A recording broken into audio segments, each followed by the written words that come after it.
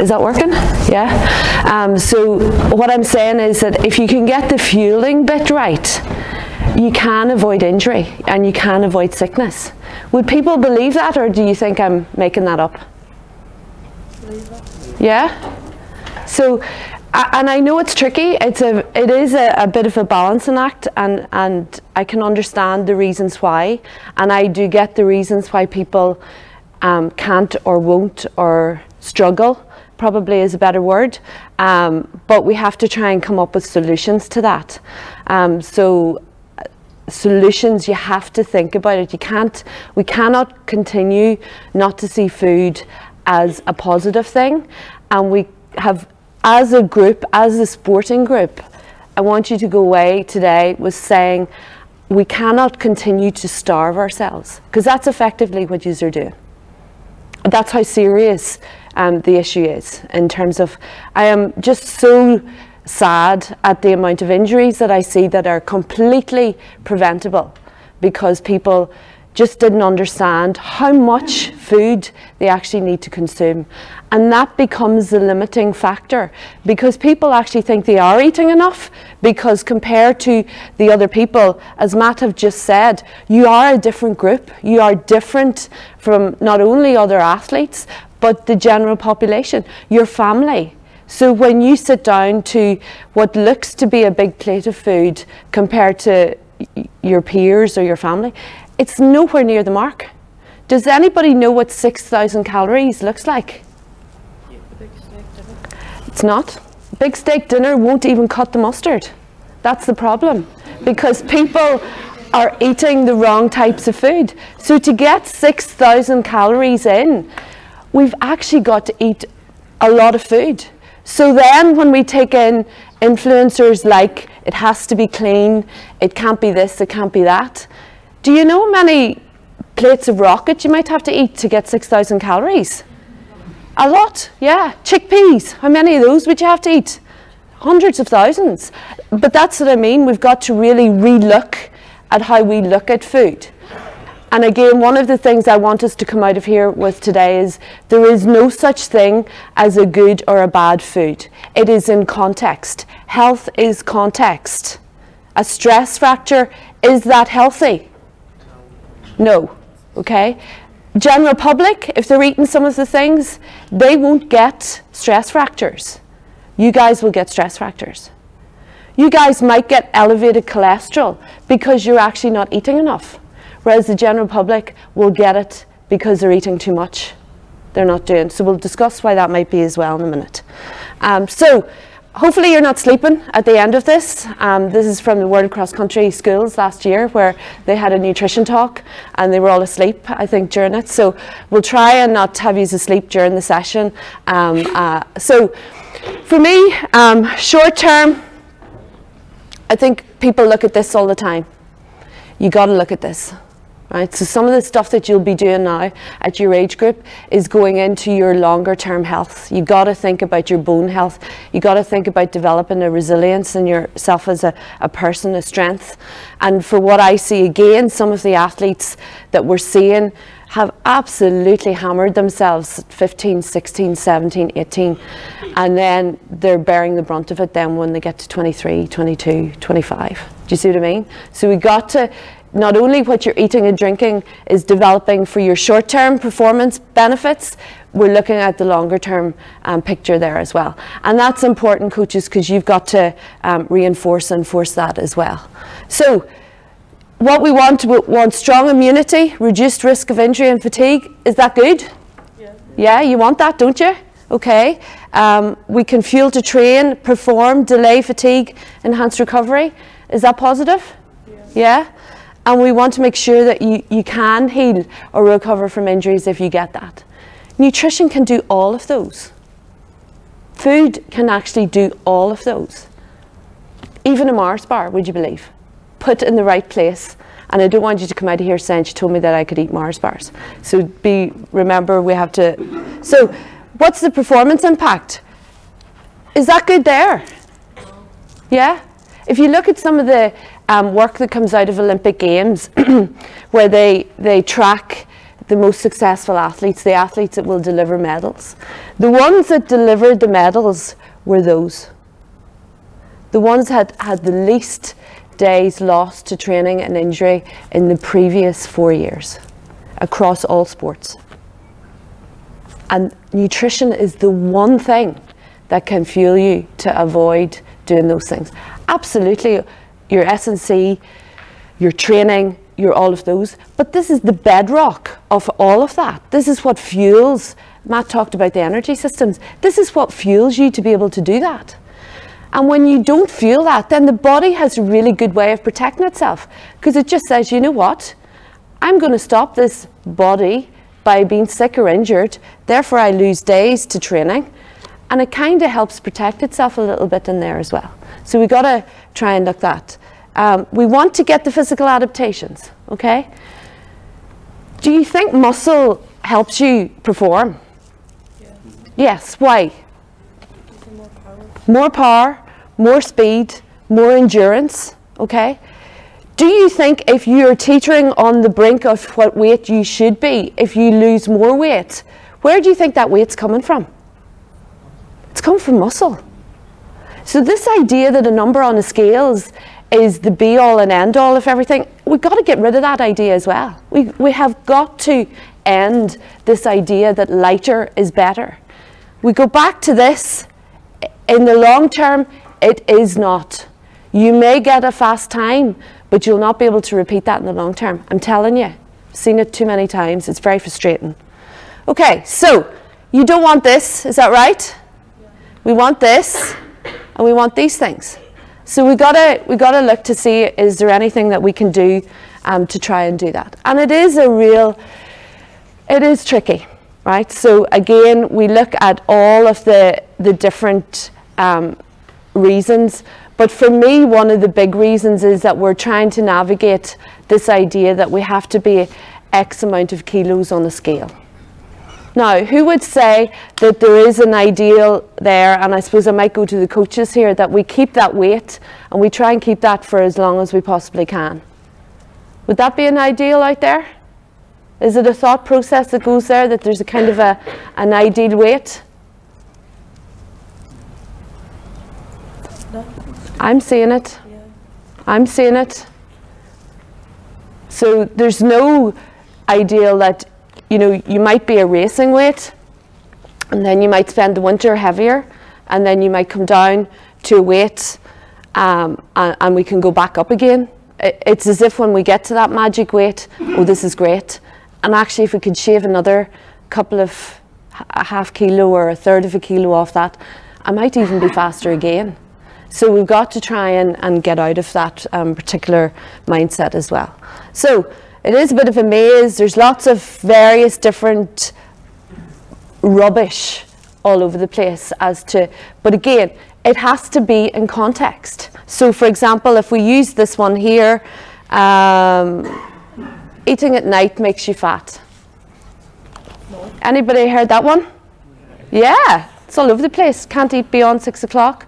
What happens if you're training at seven from half six to half eight? What do you do then?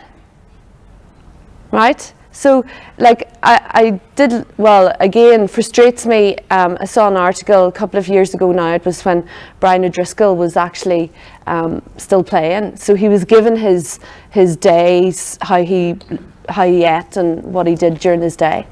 Uh, and I, I could just see number one, probably team players or rugby players or Gaelic players saying, oh, that's the way I, I'm going to carry on now. But Brian O'Driscoll trained at probably 8 o'clock in the morning and his training was finished by 3 o'clock in the afternoon. So it was okay that he probably didn't eat anything after six, and God forbid, I'm sure Amy was eating absolutely nothing um, after six anyway. So the point is, there, it has to be set in context. So if you're training from half six to half eight, you not eating at night is an absolute disaster.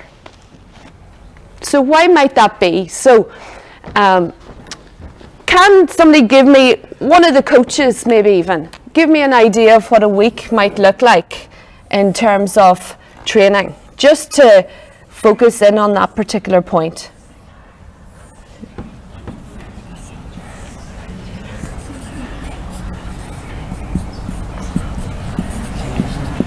Timings. I'm, I'm really just looking at the timing of when, it, when training sessions might be. What might it look like on a Monday for somebody? Six in the evening? And what, what might that be? Six to half seven? Eight? Six to seven? Is that track? Would that be S&C? Yeah.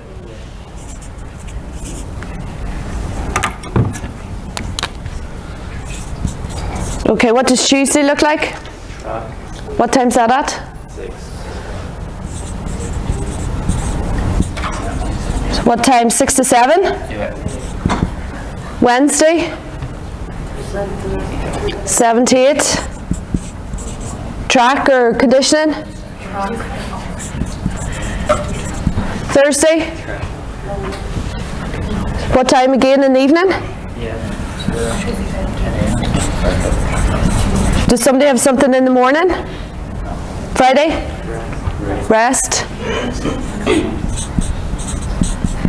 So that's the day we eat less because we're resting here, is that right? Yeah? Okay, we'll come back to that in a minute as well. Saturday? Long run, what time will that be at? 11. 11. What? 11. Okay, let's focus, folks. 11 to 1 maybe, 11 to 12.30. And Sunday?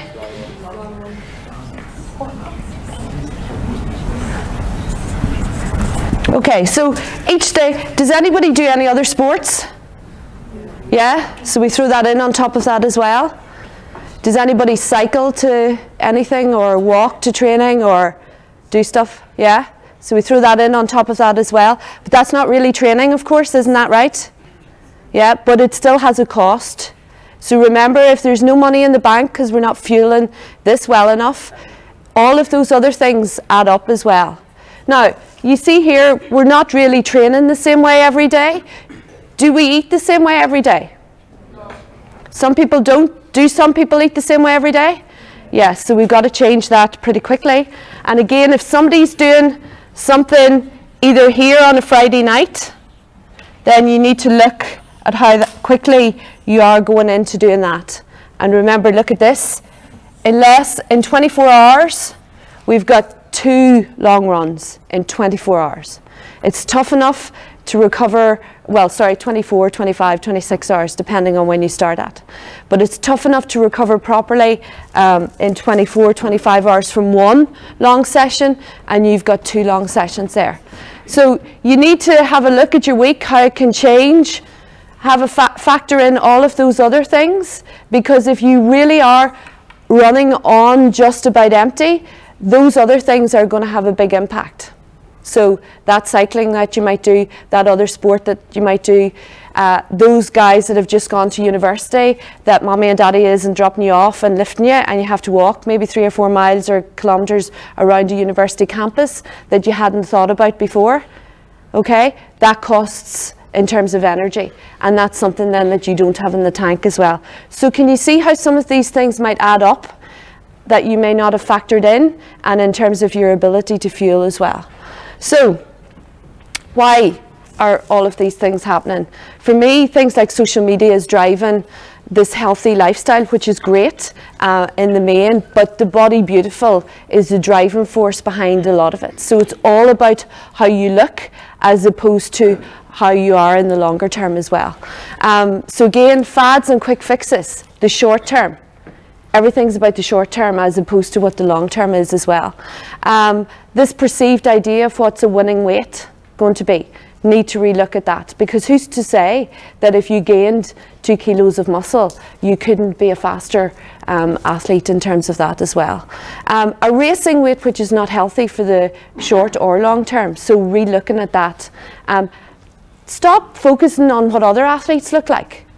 Look at yourself and see how you can be the best athlete that you can be. So stop. I don't know how many people I've said, heard say to me, yeah, but when I'm on the start line, um, I'm the biggest athlete that's there. Number one, if that's what's going through your head on the start line, you're beaten before you've even gone anywhere. So stop focusing in that and, and start refocusing on your own personal as well. And coaches and others that can have a significant influence. I had a girl with me not that long ago who's six foot two, and the coach told her she was chunky. Words like that cannot exist in this dynamic. She was 65 kilos. She was six foot two. Right? Yeah, that's not big. No, not at all.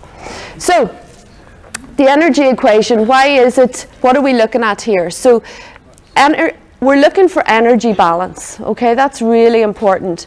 And it's really, really important through what food goes in versus what comes out. People they're kind of thinking, right, I've done this amount today, um, I've eaten this amount, that should be about right, okay? In the main, that's generally how it works, but if there's other things that you're not thinking about, or the fact that you've probably eaten a little bit less than you think you've eaten, um, that or done less or done more than you've calculated the, the cost is there. And we also have to take into consideration other costs that there might be as well. So for example, we've got a fuel tank here, okay? Then we've got our training here, and we've got all these other things that are going on below the surface of the skin. So we've got how you're feeling generally, your bone health, uh, immunity. Are you at a phase where you're having a growth spurt? Um, your blood health, uh, soft tissue, all of these other things that are going on below the level of the skin, okay? So this is your fuel tank here. Which one of these do you think that the fuel tank will give to first or do you think they're all about the same? Are they all as important as each other, or is one more important than the other? Training's number one. So it's an evolutionary thing. If there's a big lion comes in there, it's irrelevant. If we don't have to, if it eats us, we don't need to worry about that. Okay, so it's about flight or flight. We have to get out of there. So, but what you're hoping is that there's enough fuel to give to each of these systems here. What happens if you think training goes up and that kind of stays the same? So what happens then is the, the fuel that might be going to these particular systems gets redirected back to trying to deal with this. So if we look at that week there where you know you might do something on a Friday evening or you have those two heavy sessions on a Saturday and Sunday and you haven't even thought about really increasing the volume of food that you're eating around that or the fact that on a Friday is a rest day so you're eating nothing hold on a wee minute and I'll answer so you're eating less because you're not doing as much when actually you should be seeing Friday as your active prep day for not only filling the gap that there might have been on a Thursday, but also putting money in the bank for two big days on a Sunday, a Saturday and Sunday. Okay, so that's how then a weekend situation can be like that. And if you're doing that week in, week out, that's where the problems start to arise. Many calories should be in a day? Everybody's very different. So again, it'll depend on your weight, your height, but so, for example, I'll give you an example of a, a 49 kilo, no, sorry, 47 kilogram athlete that I'm seeing at the moment, and and we are aiming to get her to 5,000 calories Tuesday, Wednesday, and Thursday, with her focus being around four and a half thousand calories for the rest of the days, because they're her big ticket item days during the week. Now, as her load goes up, we need to push that up to 5,200, 5,300. How do you track that? Um, well, some people use Garmin's or, uh, you know, Fitbits or various bits and pieces to look at what the outputs are on a, a, daily basis. But for, for your age group, for your growth, you know, for, for males in here, I would say, based on that there, we're looking at probably you know, at least 4,000 calories a day, 4,400, maybe even a bit more for the bigger athletes. And for the females in here, anything probably certainly over 3,000 calories a day, with bigger days needing more. Do people think they're at that at the moment?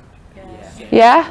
What does 3,000 calories a day look like? So 3,000 calories a day looks like um, big bowl of porridge in the morning with two sachets of, of oats um, made with milk with some maybe a couple of eggs with that um, a banana thrown in on top of it Um, it could be four Weetabix with half a pint of milk, some berries. It'll be another snack, um, maybe half a bagel toasted, or um, it could be another maybe four or five rice cakes with some peanut butter on it. For lunch, it'll probably be a massive big wrap with maybe two or three slices of cheese, some turkey ham. Um, it'll be vegetables in that, maybe something like a yogurt with some fruit as well. It might be a milkshake type thing pre you going to train or a yogurt with more fruit, some nuts in there as well. We've got our dinner coming in. So again, if we just have steak and veg, you know, even with the biggest of steaks, that's only going to be three or four hundred calories. We're nearly looking at a dinner that has to be six or seven or eight hundred calories. Are we eating those volumes? We're not. I know for a fact we're not. Because I'm seeing too many injuries. So, why do we restrict energy? Because again, so what would the first concern be there when I say about that volume of food? It's a lot. It's a lot. Are you going to burn it off? Yeah. Yeah, so the, these are the questions, and I get that. I absolutely get that. But again, for me, um, the volume of food and the reason why we shouldn't be starving ourselves to look at what the problem is. So if we look at our training, do people have this situation where one session's good, one's maybe not so good, one's good? Does it go like that? Or as the week progresses, do people get more and more tired? Does anybody recognize any of those feelings? So one session you're flying, you could train all evening. The next session, dead legged, just really not, you know, does any of the coaches recognize that in their athletes? Yeah? So this is the reason is because we're probably not fueling this. So we get this kind of scenario here. Where proper fueling actually means that it doesn't result in excess weight gain is we start to see this. The training is much more consistent and actually we improve. We get better, we get faster, we can put in more to our sessions. And it's in this place here, this zone, that we manage our body composition, not through starving ourselves. That's for me where it plays a role. Now, absolutely, I think if we're not eating that volume of food straight away, um, our weight will go up, there will be a bump in it, but it will come back down again um, to the levels that we need as well. So what we get then is more consistent and increased intensities in our training. And you know what, we're not off a week every two months or three or four days because we've got sniffles or, or whatever, or a tight hamstring that we have to take off. So we don't get these days lost, which we then can continue to train, and that gives us our consistency. Do we have athletes that are a bit unlucky because they're getting sick or injured all the time, coaches? Yeah? So we need to really look at that because I would hazard a guess that we need to look at the fueling that they're doing as well. So what are the negative effects? Osteopenia, amenorrhea for females. Um, again, athlete said to me yesterday, she went to the doctor um, and obviously because her periods had disappeared and the doctor said, oh yeah, that's normal because you're sporty. It's not normal. Just let's be clear about that. It's not normal. And if it's happening to you, then you need to see about it, okay? If you haven't had a period and you're over 16, then you need to see about that definitely as well. We get a drop in metabolic rate and, and uh, changes in our thyroid function.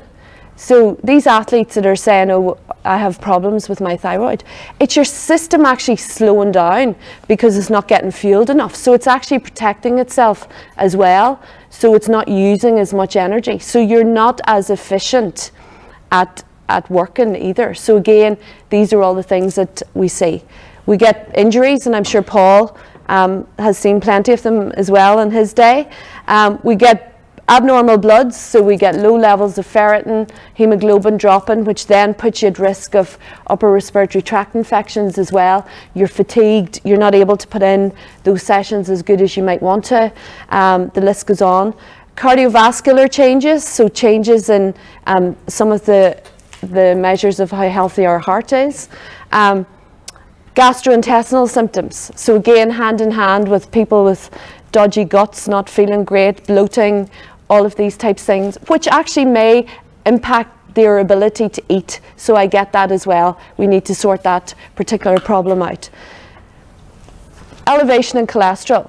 When I see that coming back with maybe some of the other ones, complete red flag for me. Why do you think that might be the case? Very healthy, train a lot, eat healthy or clean. Why do you think we might see that? Because what happens is cholesterol is a fat. It's stored and released from our liver. And when there's no energy around, the body then starts to kick in and say, right, I need to produce something, get it into the blood to circulate, to provide us with a source of energy in the form of fat. Um, so the blood levels of cholesterol go up. So it's one of the things that if we can get the fueling right, we'll resolve that within a very short space of time.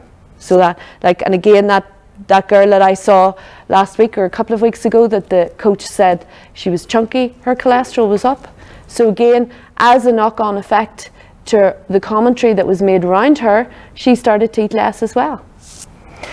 And then we then start to see things like impaired sleep, fatigue, depression, all of these things. Do you think these are useful for long-term involvement in your sport? No. Do you think they're useful for performance? Of course not. And there is no way, if we have all of these going on, that you're going to see athletes from this room continuing on at a, a, a consistent level down the line, which is what we're looking for really. So this is why all of these things kind of, we get lots of different things going on in different areas. I saw male a couple of weeks ago uh, as well. I had more testosterone than he did because he decided, and, and the interesting thing was that he came in, went to the doctor, blood's underperformance, couldn't sustain sessions, um, basically was absolutely banjaxed really. Went in, got his bloods done. His testosterone I think was seven. Um, you know, 19's low. Um, so his was seven. And basically he had dropped five kilos, but he said he wanted to clean up his diet even more. So um, alarm bells going off all over the place. So again, hadn't been fueling any of this, had dropped his intake of food, had a direct impact not only on his health, but on his performance as well. So when we get levels of testosterone dropping like that, that will affect males' bone health as well. It'll affect their overall ability to, um, to perform too. So this energy, this balance that we need, we need to really try and, and, look at what we have. So how do we try and calculate that? So let's say we've got somebody who um, is eating 1800 calories a day, okay? But they're doing two training sessions. And those two training sessions add up to 1200 calories, which is easy enough way to do it. Two hard sessions. You know, some of those long runs will certainly be close on, maybe 900 calories, 1000 calories for some people as well. So the individual is 60 kilos and they have a, a body fat of 20%. And some people might say, that's actually quite high for somebody who's not eating an awful lot and training an awful lot or training a lot. I actually see that quite a bit because again, it's the body protecting itself a little bit and your inability to drop body fat, you lose muscle, but you can't drop body fat as well, which isn't really performance enhancing. So this individual has a body fat of 20%. That means that they actually have 48 kilos of lean mass. So this is the key thing that we're looking for here. So what we do here is 1800 is what they're taking, 1200 is what they're using up. So that leaves 400 calories left for all those things that we talked about. General health, bone health, immunity, bloods, blah, blah, blah, blah. You see what I mean? So that means that there's only 12 and a half calories per kilogram of, of lean mass available.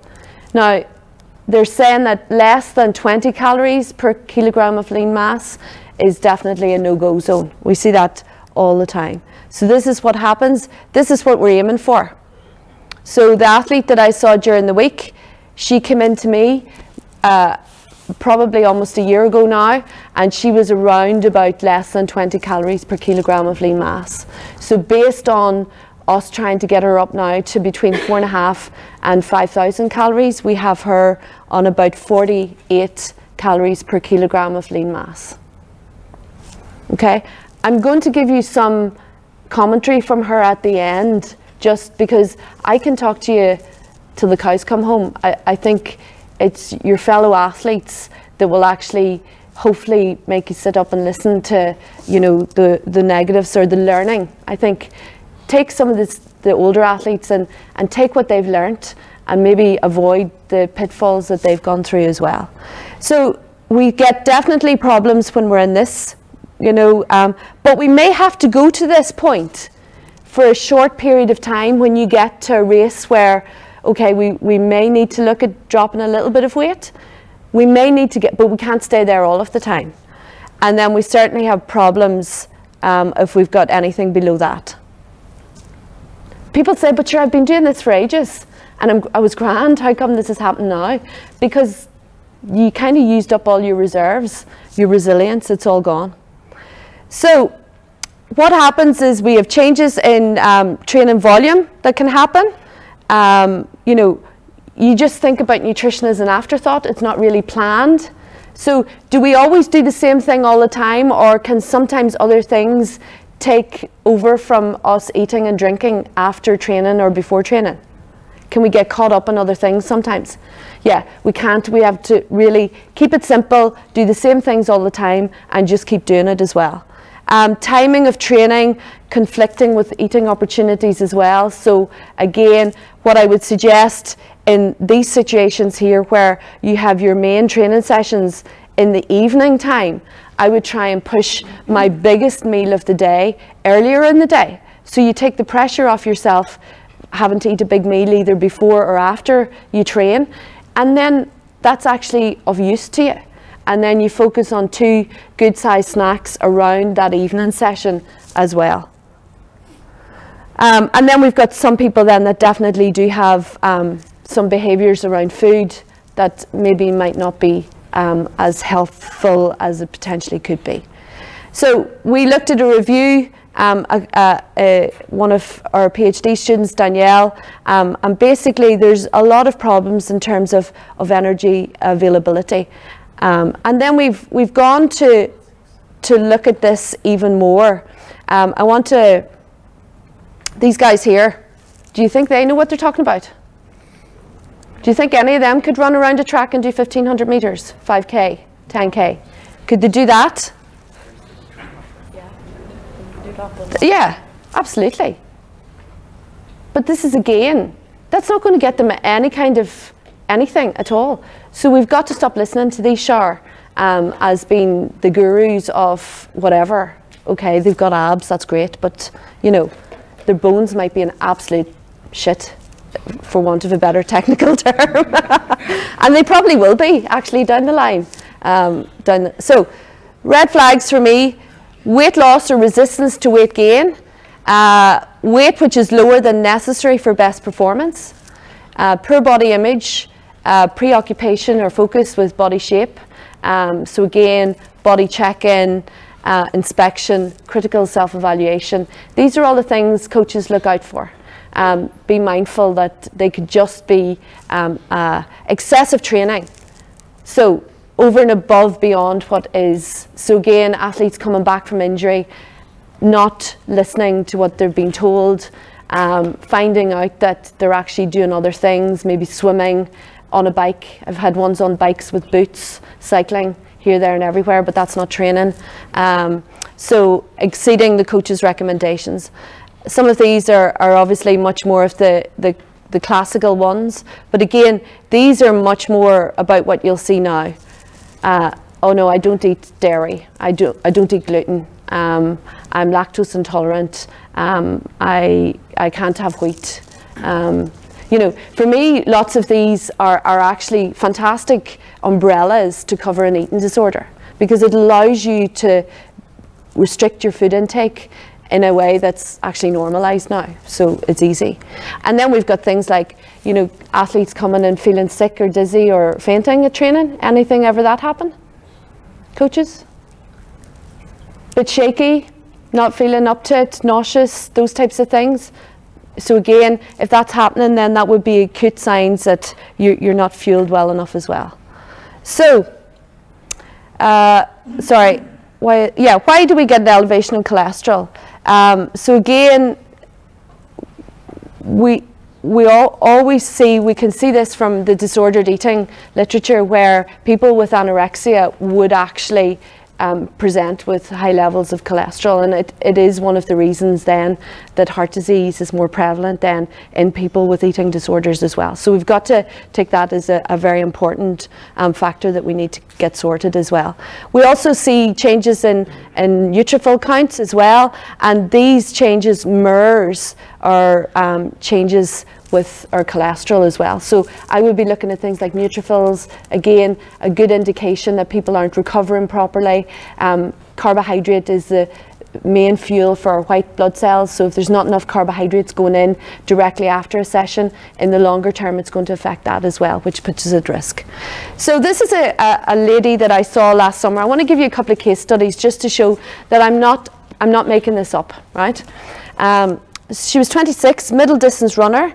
Um, she presented to me in clinic last April and she reported that she was having a lot of diarrhea. That was the main problem that was starting to have. She was actually, um, you know, struggling with that and being able to sustain any training. Um, again, she had been working, this had been going on for a, a period of time back. Um, she had been training with the aim of being selected for an international competition the previous September, but again presented with another injury. So that ruled that out yet again. She was disappointed with that. She had a shift type pattern of work. Um, so then that ruled her out of that cross country season.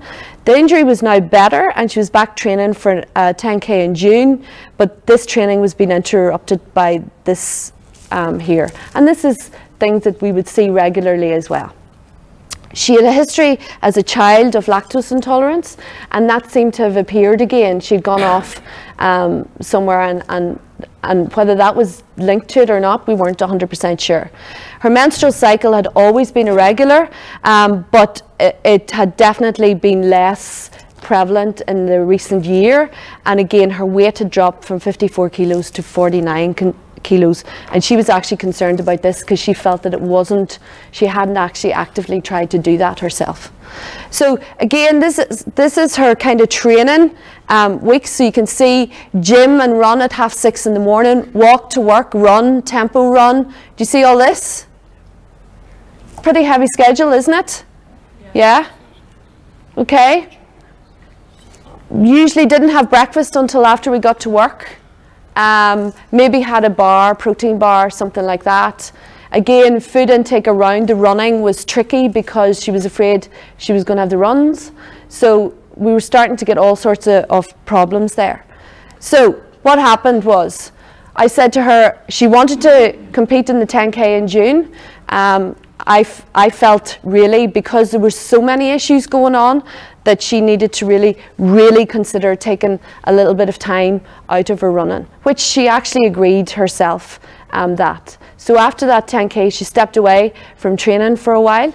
Um, this allowed us to actually get her weight up by the end of June to by four kilos. When I saw her the following September, her weight in total had gone up by six and a half kilos. She had a light menstrual period then in the July, which was about 10 weeks post our initial. So she responded very quickly to her weight going up and to reduction in volume of training. So the two of them hand in hand helped that much quicker possibly than it would have been if she continued to do a little bit of running. Okay, she re- she then had a second one and she felt then uh, she contacted me and I said I felt that she could restart her training. And guess what? She ran a PB. Is more and more and more and more better sometimes. She actually ran a PB. She's flying.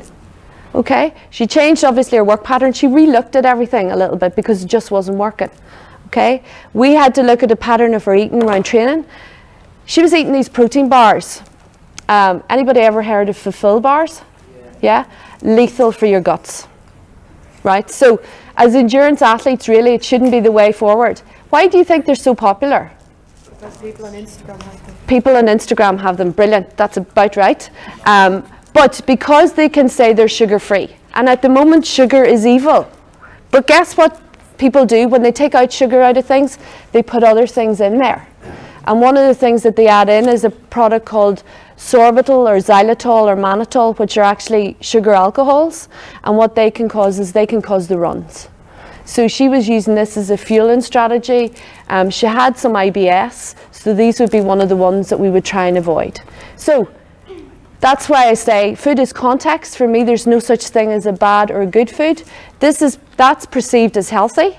Don't touch it. It's a waste of time. You might as well be eating a chocolate bar personally, I think. So now what we were in the situation was that her training load now is going back up again. So she can't stay where she thinks she's done really well and increased her food intake quite a bit, but she has got to increase it again because her training load has gone up as well. And actually, this for her is great because she responded to her feeling really well with her menstrual function returning to normal. So she can actually use this as a monitor for herself to say, right, I'm actually feeling well enough. Or if that starts to deteriorate again, um, there's something wrong. Okay? So from a female point of view, um, quite lucky there. From a male point of view, we don't have um, something probably that we can use to monitor, which is um, a bit unlucky there. This lady here, again, um, initially periods, long number of years without anything. And when we now see what we do is we look at her being a five week cycle, but when it goes, her weight drops down, it goes out further, and we know that that's not the place where we need to be either, and we need to look at that. So you can see here a couple of energy availability cases where I've worked out. For this one here, it was a combat sport. Um, she got a lot of injuries, but again, I would classify her to be in the disordered eating category because she was very focused on keeping carbohydrates relatively low. Um, and this caused quite a lot of problems with her um, managing her ability to intake fuel as well. This lady here, female distance runner, um, again, it's interesting because she's the one that I would say possibly had a higher body fat than she might think she should have had. But part of the problem was she had what I would call um, a, a, relationship with food where she, some days she would eat absolutely loads. She would have what you would probably call a binge, and then she would feel guilty and then eat nothing. Okay? But what was happening was she wasn't doing it around this training profile. So on the days where she was actually training quite hard, she was eating very little, and then that was causing the problems in the longer term. But again, um, lots of uh, injuries, and really, you know, with probably two or three stress fractures of her foot. Another one, again, so quite a low body fat, um, energy availability quite low at certain times, compliance good, but she needed ongoing prompting there as well. I'm nearly finished. I don't want any sleepers here.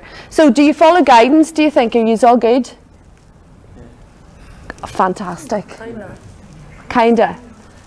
And then some people, no. So we've got the good, the bad, and the ugly in here in terms of following guidance. Why? and I get it. Why you wouldn't? Basically, the volume of food is huge, folks. If you think you're eating enough, I'm telling you, you could nearly put a half time as much on top of that, and that probably would just be about right.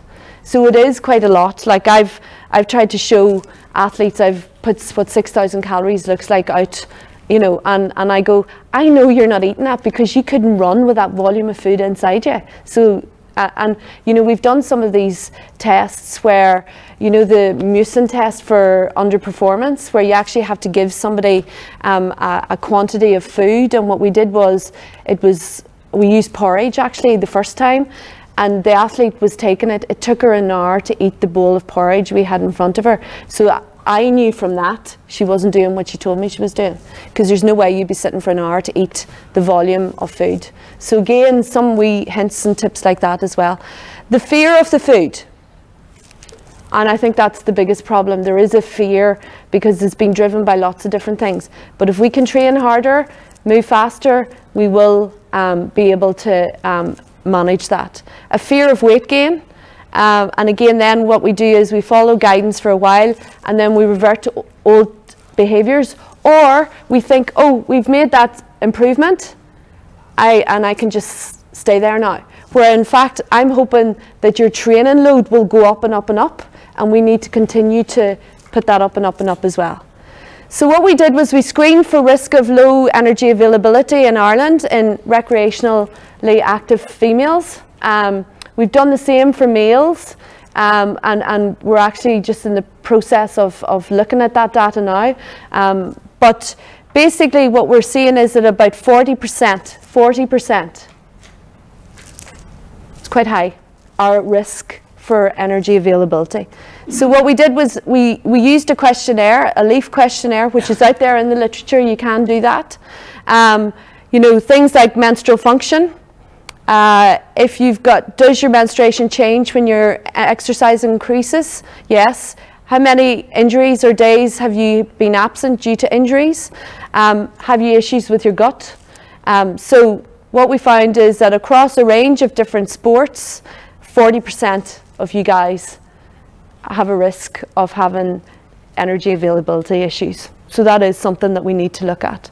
So the, the higher, the more competitive you are in sport, the bigger the risk. Okay? You factor in another sport on top of that, you're at even bigger risk as well. So um, it does happen out there. And these are the things of outcomes. 22 days lost to injury, that's three weeks of your year. It's quite a lot, isn't it? Again, about 23 weeks lost to um, sickness, um, menstruation stops, cramping, bloating, things that might be um, affecting your performance as well. Um, stress fractures, 12% reported. So those that were at risk, 12% of them had stress fractures. That's not really hectic for a runner, is it? No. And a couple of stress fractures and you're really into really dicey ground then in terms of that too. So what are the dietary patterns which I thought was interesting? About 47% followed a low carbohydrate um, diet. Some of them were gluten free.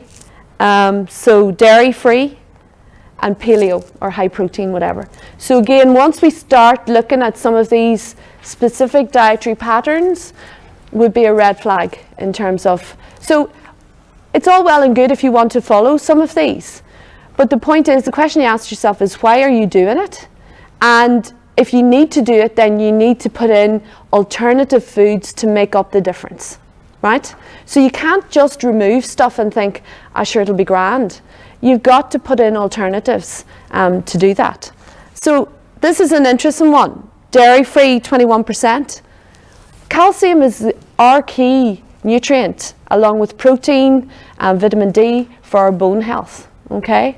So if we take out, where else do you think we might get calcium from if we take out dairy produce or milk? Anybody any idea what our second most important source of calcium is in the diet?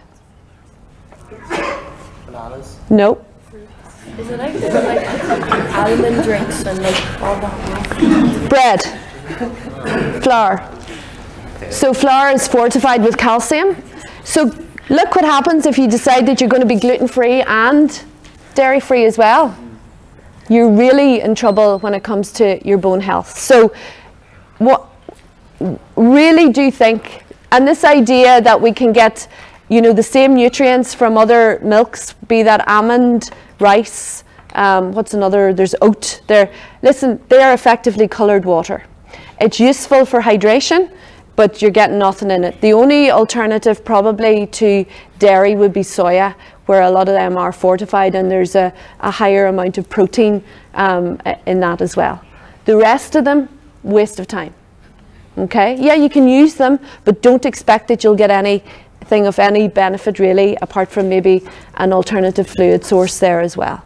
And this is really what we're trying to avoid, right? So look how thick the cross links are here in this normal bone and look where we're going to in a bone with osteoporosis. Think of your crunchy bar, the middle of it, That's what we want. If you've sucked away the middle of it, then that's what you're going to get. That is your bone at the end of um, this. We can't recover from this, folks. There's no going back from that. If we have osteopenia, which is a step back, we can actually, we can diversify and bring it back. Now, one of the thoughts is that when you sweat, you actually lose calcium out of your um, system as well. So one of the protecting mechanisms that you might do is that around your sessions where you're training a lot, if you put a, a drink or a, a recovery that has calcium in it, you can actually negate the loss. So you're actually cost neutral for that session in terms of calcium. So that's why looking at maybe um, milkshakes or yogurt based smoothies or stuff like that as a, a, a, strategy around your heavy sessions might be very, very useful. So before we have any sleepers, um, there's about 40% if you have low energy availability risk. Um, there is higher risk from our females competing competitively and definitely you are going to lose more days to training um, and be less consistent as well. So I'm going to move on because I know I'm running out of time here. So I just want to finish with this particular athlete. Have a little read at just some of her commentary around what she's learnt, the lessons learnt here. Um, you can do all the training in the world, but if your diet isn't matching your training load, you've already lost. I've experienced what it is to be too light, um, 45 kilos, and I think pure shite is a technical term for what that feels like. But anyway, um, there's nothing nice about crawling across the finishing line or being beaten, and is purely down to you and your underfueling.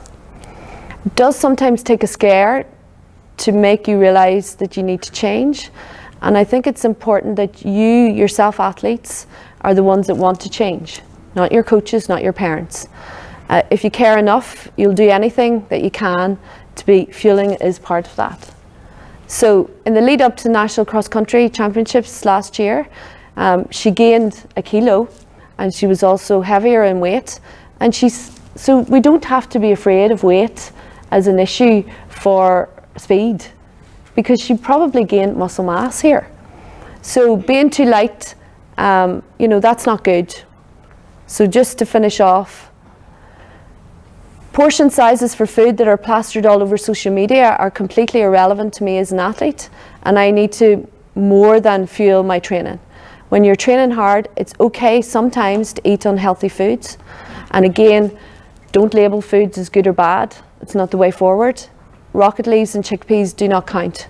These will not give you the calories. I've learned not to listen to the crap I see on social media. Often the people that you see posting are actually in unhealthy relationship with food themselves. So don't be looking at them, don't look up to them and think, oh, this is the way to go, because they actually have issues too. So weekends is great for prep, you know, use your time effectively. How come all the Africans eat barely anything also? Um, again, they're not us. They've different genetics. They've different ways in terms of training. But if you look at their actual eating, most of it's based around grains. So their carbohydrate intakes are actually quite good. So, um, but again, I wouldn't look at the Africans and say, right, I'll have to base myself around that. I focus on me, but they do eat quite a lot of carbohydrate, Is much more. So fast because they eat so many carbs. Well, I think it's possibly part of it, uh, living at altitude.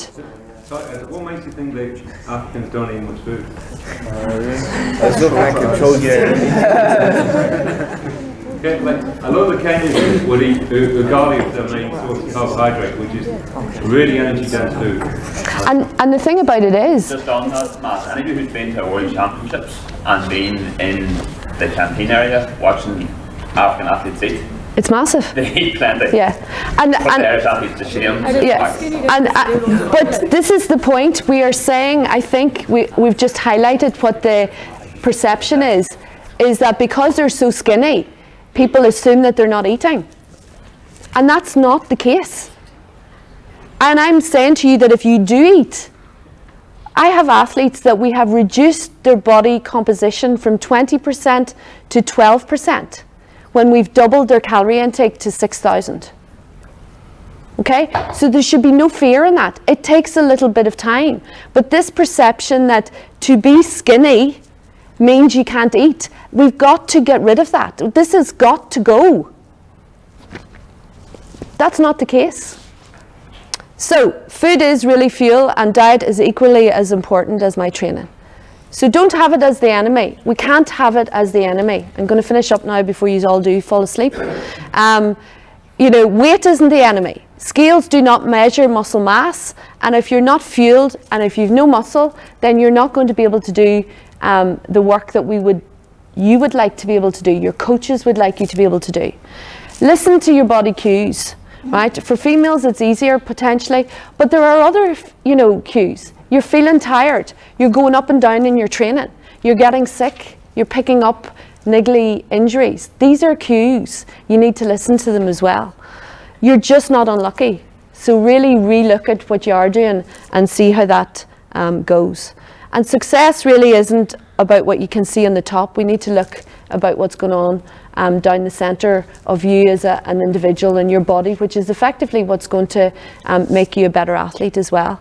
Just for some of the females that are in here as well, we are doing a survey because I do know that um, PMS is a problem and can be an issue and, and also a reason why people may go on the oral contraceptive pill, which is another problem as well. So, you know, if any of you have time to fill out that survey, um, we have it sent out from um, some of our Instagram accounts. Um, Sport Ireland have sent it out as well. Matt, we can probably get it sent out through AI potentially. Why, why, why is the pill a problem, John? Because basically the pill induces menopause, right?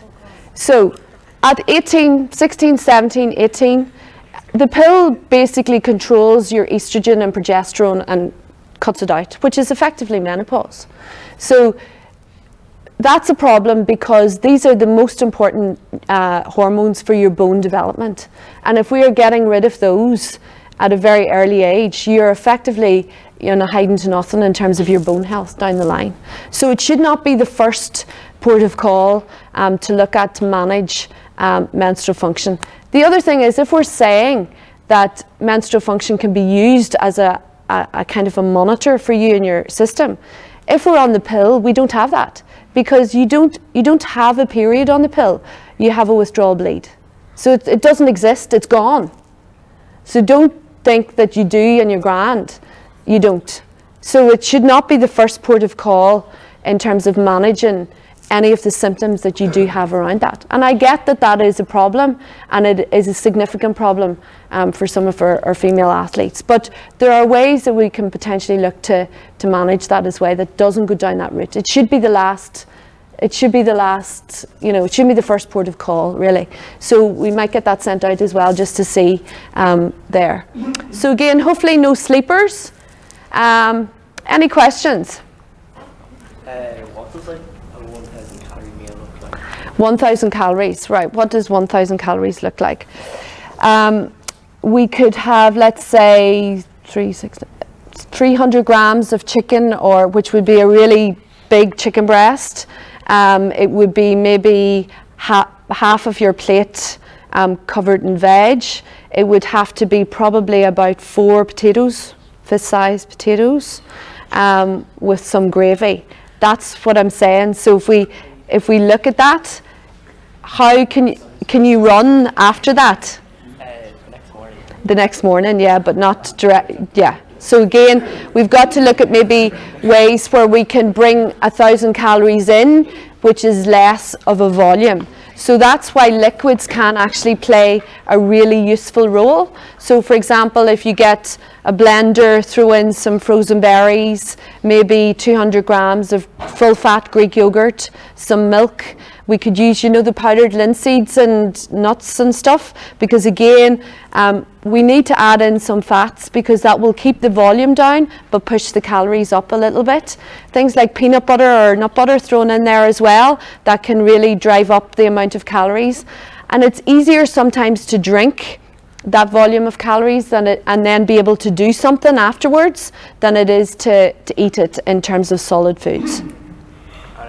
After like the session or run, what would be like an ideal food? Well, something like that would be useful because you could take a little bit of that and then come home and have some of your dinner then as well. So again, um, the dairy is useful or, or that shake type scenario because it will give you your protein and carbohydrates to help recover the muscle. And also if we're thinking about calcium as being important, we're getting that in there. Or take a little bit of it through your session as well if you're going to be there for a long period of time or if you're doing a conditioning session or more of, not a condition session, but more of a strength session where it's weights, then you should be able to have something during that session. Start to teach yourself how to take on board fuel um, because one of the things that has been shown particularly for males it's the length of time you go between eating that's important too because then we go into deficits so we might be getting enough in over the course of the week but there's significant deficits in the week where effectively you're burning um, you know your own systems which you don't want Uh, for recovery reasons, like would you would you recommend uh, magnesium or anything like that for the muscles? Like Um, if you're not doing this right, that's like putting sprinkles on top of a cake that's not there. Do you see what I mean? So we got to focus on what the basics are first. And the other thing is, if we eat more food, we get more of everything else. Okay? If we get the calories in, the energy, that's your number one priority. So it's like saying to somebody, um, right, you're gonna you're gonna use up um, that, that's where this whole idea is that if we're eating rocket and tomatoes and it's all really good for us, it is great, but it's not giving us the energy that we've used up. So the fatigue from the lack of carbohydrate is going to have more of an effect on your muscle than any amount of magnesium that you're going to fire in on top of that. My goodness, this is a front row interest. You were listening? can you still be under fueling if you're maintaining your weight? Yes, very much so. That weight shouldn't be an indicator because the body will try to protect itself. So weight actually, that, that that's a really good question. A lot of athletes will say, but I, I'm grand because my weight's really stable. Um, so no, weight shouldn't be used as a, an indicator of, of energy availability. Yeah. Can I ask you about the, um, the fueling uh, that you talked about? Uh, you talked about the good fueling. What, what- what's your view on the kind of the that fueling, the, the dirty burger and the Friday evening pizza, that kind of stuff? Well, again, Is it better? Um, I suppose it's all in context as well. Um, and I suppose what, what I'm trying to get away from is this labelling of foods as dirty or clean or whatever. If 90 or 80% of the time you're doing what you perceive as the right thing, there's absolutely nothing wrong with that. And in fact, if anything, if you've come from a training session and you're going to a really long run on a Saturday, might not be the worst. For me, what's the context of why it would be dirty or bad? It's all about that. For me, who's not going to do two hours on a Saturday morning running and won't certainly be doing it, absolutely, it's probably not the best thing to be doing on a Friday night. But for those that are going to go out and do two hours of a long session at steady or hard state, you know, I, I think it's all about context. Plus, it's also enjoyable. So we have to think about, you know, there's maybe a social reaction there, or interaction with food, friends, blah de blah. That's okay. I would actually sometimes prefer that than a plate of rocket. I really have it in against rocket. I think it's just on Instagram all the time. Huh? Yeah, yeah. Anybody else? Were you to ask something, Paul? So if we take it, is there one thing that we might do different? Taken away? Yeah. Well, that's always a good sign, isn't it? core training very surviving because if I ate maybe within an hour before I run like a big sandwich, I would get a red spot in my vision for half I run before it disappeared. Yeah. So is there a time where maybe within an hour before run, should kind of avoid some or just? Well, I think it's very that's a very individual thing, and I think everybody will have their own individual where they don't like to eat too much beforehand. So I suppose Saturday morning is a good example there. What do you do if you're out quite early on a Saturday morning for a long run and you don't feel you want to eat? Therefore, Friday night does become the priority for what you do eat. Plus, then sometimes the liquids is easier than the solids are. So, yeah, the volume of food and the type of foods can can sometimes be a problem um, very soon. They would say it takes about two hours to probably digest a big feed, big meal. So that's why I'm saying if on the nights where you're doing your training in the evening, trying to push your main meal of the day earlier in the day is sometimes a, a better way that that fuel then is broken down and available for you to do that session. I, am not sure what the red dot is. Um, that that's a new one. It's kind of funny that if I actually didn't eat, I would run 10k no. Yeah. If I ate maybe within an hour for 5k to run. Yeah, you're feeling sluggish. Yeah. And like Well, it is. So you push a lot of food in very close. Basically, what happens is the oxygen runs to digest that to try and take. So it's going away from the muscles. So you're not getting it. There is competition there, absolutely. So you're obviously so for you, you know, eating hours beforehand is probably better, um, or the night beforehand if that happens to be. But again, topping that up with something maybe in a liquid format is maybe the way forward rather than solids. Is there such thing as like overeating as an athlete at this stage? Um, I I think again, if we're doing it relative to uh, what we're training, there shouldn't be. Okay, if your weight goes up 10 kilos in a week or two weeks, then there's maybe alarm bells there, but I, I can't see it to be brutally honest. I don't think so. Um, yeah, just any suggestions on how young athletes can like empower themselves to not compare? Like social media is so big, and it's all very well to be like, you know, don't be looking at social media, but do you have any suggestions on how people can kind of hold their own so they have the confidence to kind of reach a weight that's good for them? That's a, a really good question. It's it's very tricky because it it's all over the place. Everybody, you know, so therefore I think really focusing in on what your aims and objectives are. What what are you trying to achieve? Remembering that that's very different from those ones up there. You know, they're trying to sell a book or whatever. So what are you trying to do? You're trying to be a healthy athlete that's not going to get injured, that has longevity as an athlete, that maybe has other things that you have to do college or whatever. So it's always bringing it back to what you you are. And yes, 100% you will get influenced by some of the other things, but you know, there's enough evidence out there to know those guys aren't posting the bad days. It's only the good stories, isn't it? It's never the other stuff that's going on out there. And you know what? They have it going on in spades as well, but you're not going to find out about that. They'll only want to sell you the positive stories there. So we will get sucked into it, but we have to come back thinking, do you know what? I'm going to focus on me. And you know that will be the responsibility of you and your coaches um, to to keep that relatively tight and and to always have you know what am I aiming to try and do here? Um, Am I getting better because I've decided that I'm going to go down this route? Have a think about what that athlete said there. These are the things that you've got to, to I think, focus on. What do you think, Matt? Yeah, definitely.